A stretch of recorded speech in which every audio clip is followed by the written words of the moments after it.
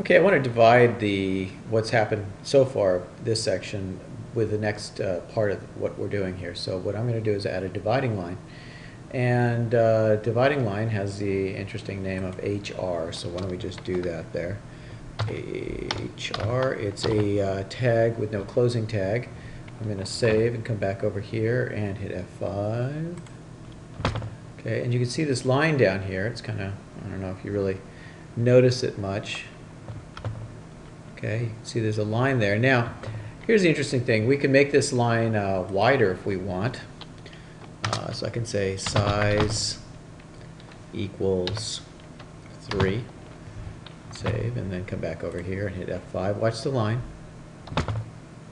No, nothing seems to have happened. What if I make it bigger, size 7? Maybe we'll notice it then. Ah, there you go. It's a, you can see it's a little bit fatter there. Uh, look, you have to look really closely to notice. You can see this this divider here has become wider. Okay, I can also make it narrower, so I can say uh, I want it to be width. I have to spell it correctly. Equals thirty-three percent of the. Uh, oops. I'll hit save and then hit F5 over here.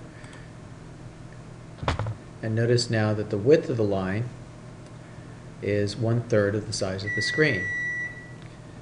Okay, and so notice that all of this is within the HR tags uh, greater than and less than symbols.